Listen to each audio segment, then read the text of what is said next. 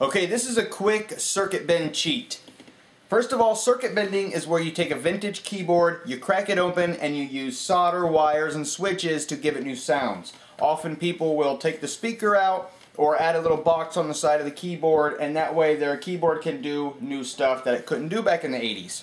The best keyboards to bend, to circuit bend, are the Casio SK1. This was the first Casio SK I got. They're pretty common. They go for about 50 to $100 on eBay and other auctions. The most popular one is the Casio SK5. This is on the TV show Bob's Burgers. Gene plays one. Uses the dog sound. You can sample with it. Hello!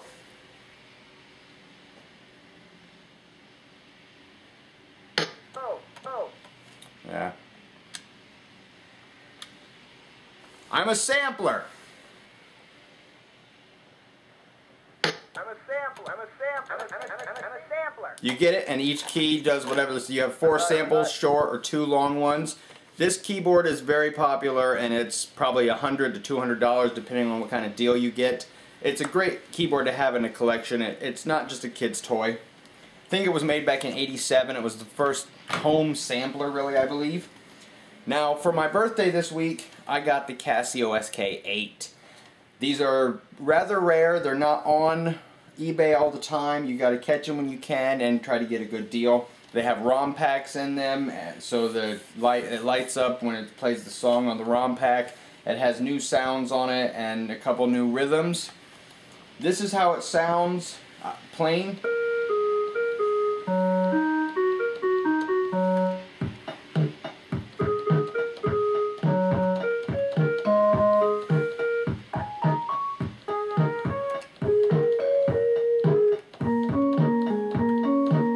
Now obviously that's not the end of the world. I think it's a pretty cool keyboard. As you can see I love the SKs and I collect them.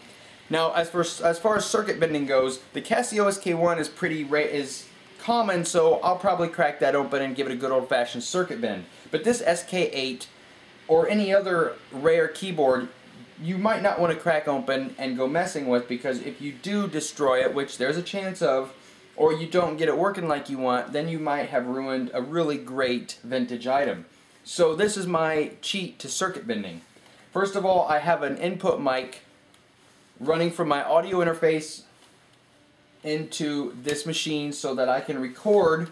On my computer, I have Cyclop by Sugar Bytes and the demo of Diva, which is an awesome synth that is often used in movies. So what I've done is I've sampled these sounds into the keyboard.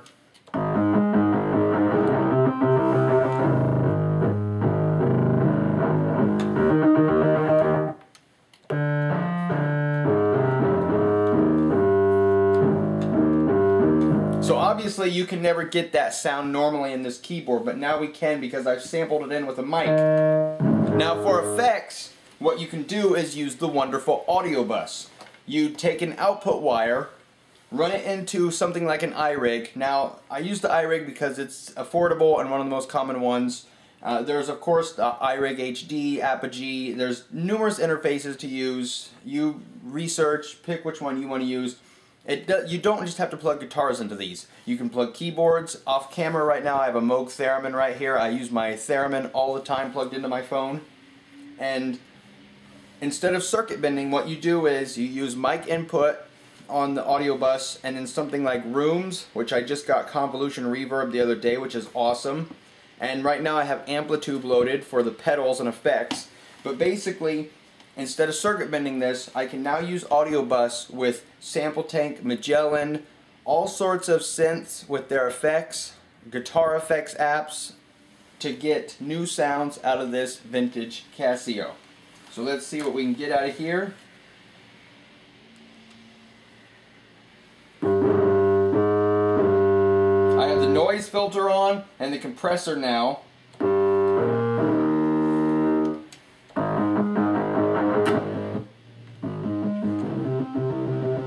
Let's do some delay. Let's reverb.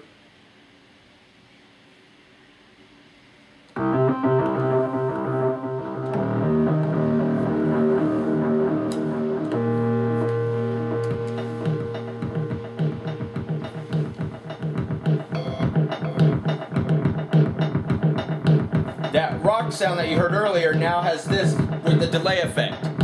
That's pretty cool, I think. We can try reverb.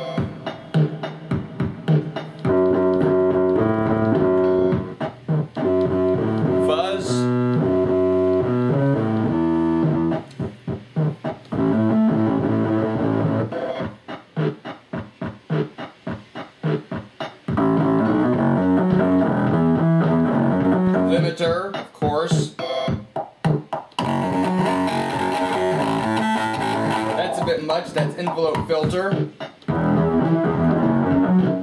Okay, let's keep it to something simple like. Yeah, not phaser. How about this one?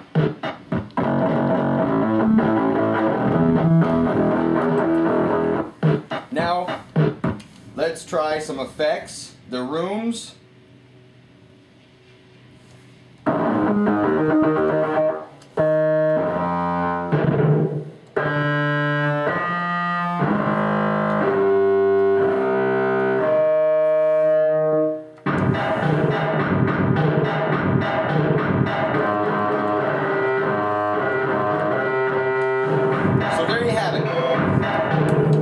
Circuit bend without actually cracking open the keyboard and circuit bending. You can get all the effects. All you need is an old Casio or Yamaha that has an output, and instead of plugging the output into an amp, you plug it into an, a guitar interface and all the different apps you have on Audiobus, and voila, it saves you all the time of cracking open a keyboard and circuit bending.